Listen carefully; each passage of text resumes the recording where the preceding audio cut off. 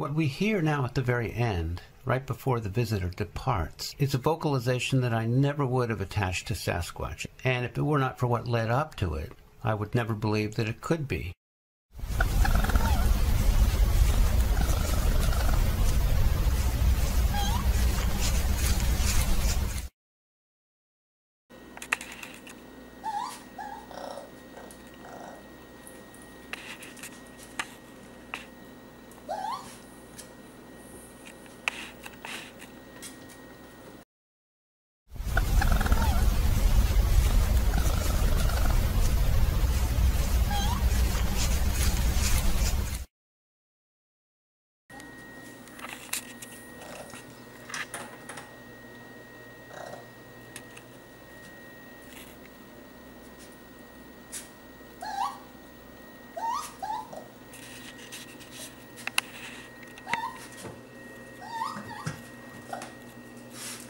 Okay.